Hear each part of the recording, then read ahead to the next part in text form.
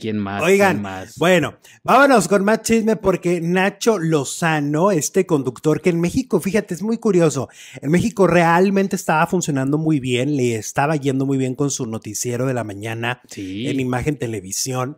Pero bueno, pues es talentoso, es joven, o sea, vaya, hay como todo un futuro para él en el mundo de la comunicación.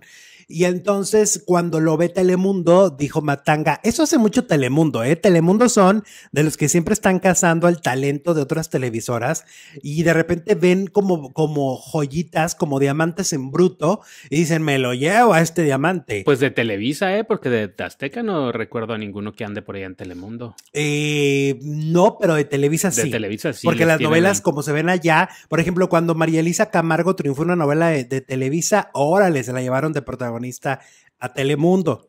Eh, este, la del Porque el amor manda. Ah, Ahí triunfó. Y luego, este, ahora Nacho, pues estaba triunfando en imagen televisión, tenía un ratingzazo. Yo creo que es la mejor época de imagen en las mañanas, ¿eh? Con él. Les iba increíble, tenía más de medio millón de espectadores.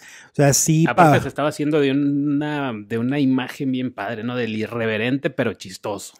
Con Sí. gracia. no, no, no llegaba a este nivel de humor que puede incomodar, que a veces incomoda de, Chumel. digamos. No, pues de Chumel se incomoda a veces. Sí. que- que les- a mí no me gusta que Chumel le diga muchas groserías al presidente. Es que que- Yo sí creo es que como lo más básico, límites. ¿no? Es ¿Eh? como es más fácil insultar que hacer algo creativo y que te rías, ¿no? Que te haga reír.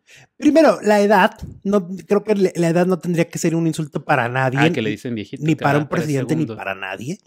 Eh, y segundo, eh, al final de cuentas es nuestra máxima autoridad. Y yo sí soy de los que creo que hay eh, esa parte sí hay que, hay que medirse. Puedes hacer crítica política, por supuesto, puedes decir lo que, lo que piensas de las decisiones, pero el insulto es barato. Tú lo acabas de decir muy bien, es fácil y, ba- y barato. Es muy rapidito, eh, rapidito puedes insultar. Entonces esa parte a mí no me encanta. Eh, entonces me gustaba mucho Nacho porque siento que está en el equilibrio. Está, no es Loret, no es Chumel, era como un híbrido y muy bien logrado, ¿no? Estaba en medio de esos dos mundos. Y entonces se va al noticiero de Estados Unidos y pues allá el humor es muy diferente. De hecho, no hace humor, ¿no? Correcto. Y entonces nada ahora que vienen todos los cambios de hoy día que van a reestructurar, pues a, a él ya no lo contemplaron, pero no sale de la cadena Telemundo, lo están reubicando en un noticiero. O sea, lo están mandando a otro noticiero y lo van a reubicar. Porque pues el lunes arranca toda la nueva etapa del programa de Adamari López. Adamari eh, va a estar con este, con Andrea Mesa, con Penélope Menchaca, ¿no?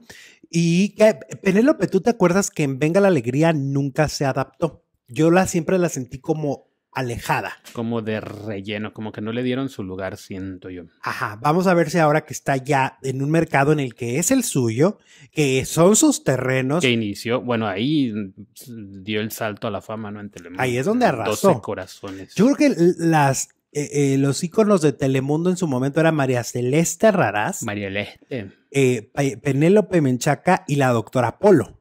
Sí. Yo creo que eran las tres mujeres más famosas y poderosas de Telemundo. Y me atrevo a decir que en general, porque en Univisión como que las mujeres nunca han sido tan apoyadas. Una Lili Estefan nunca ha sido tan apoyada, ¿no? Era más bien Don Francisco, eran hombres, ¿no? Como quien dice. Bueno, el total que Nacho se va a un noticiero, no regresa a México. Este, yo creo que Nacho podría en su momento, en unos años, si quisiera volver a México, pues sí podría ser el conductor principal del noticiero de Televisa, ¿eh? Porque siento que tiene. Pues el que va a sustituir a Denise Merker es eh, ha trabajado la mayor parte del tiempo en Estados Unidos. No sé si nació allá, pero pues tiene acento mexicano de aquí, ¿no? mexicano, ¿no? Enrique, no sé qué, no me acuerdo. Ujú. Eh, pero pues lo mismo puede pasar con Nacho, ¿no?